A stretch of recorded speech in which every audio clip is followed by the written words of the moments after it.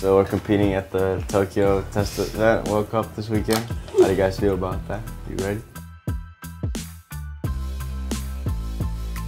We've, we've done pretty decently. Yeah, so, Ch- Ch- Tokyo's a good one. But this has got to be special for you because it's your first taste of like, you know, you're getting closer to the Olympic experience and like Yeah. being in the venue and stuff's got to be I super walked cool. into the venue, it was crazy. Yeah. Like all those lights, they're already ready.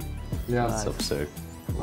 It's a really an honor to be on the men's foil national team for the U.S. My biggest accomplishment, probably silver medal Olympic Games.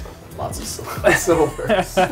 um, but, you know, obviously bronze medal at the Olympic Games and the team is, you know, with us. And then uh, the World Championships, you know, getting gold for the first time. Yeah, I would agree. I would say for me, absolutely, the World Championships is the highlight. Uh, something that I just feel like we were working towards for Yeah. so long. The bronze medal at the Olympics is huge for us after having that really disappointing Yeah. loss in the semifinal with Russia to regroup the way that we did and Yeah, it was be able to fight against Italy, who we hadn't beaten that many times at that point, Yeah.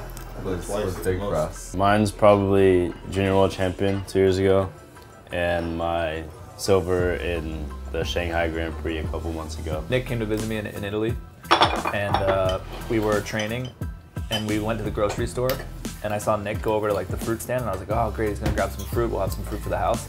And I come back and open the fridge, and there's just one whole cucumber in there. It's all I bought. Are you serious? yes. I was eating them all the time, like for breakfast, lunch. dinner. I have a picture of me and this kid actually when he looks the same, same size ears too. he was like eight, Nice. and it was so funny. Yeah, literally, uh, Miles was probably like 16 or 17, and I was like a kid like asking for a photo with Miles. and it's like a really embarrassing photo. I'm like super shy, Yeah, standing next like like, so. literally next like this. So for me, my greatest achievement uh, individually was winning the World Championships in senior in 2013, and then as a team was winning with the boys in Budapest as well. So those two for me were my, were my best accomplishments. It was awesome watching you guys just destroy everyone. like from the beginning of the tournament, no one looked like they were ready to fence you guys. And you just didn't let anyone get close. we had just like just so many silver medals and then you know multiple times there and then you know just coming there and, and finally well, after it felt like we've been fighting for that forever It felt for me sweeter than the bronze medal in the Olympics because of all of us together. yeah You know, yes 10, 15 years ago, we'd go to World Cups. Uh, we didn't have the confidence or the expectation to do well. Now we go to tournaments, and any one of us knows that we can win it.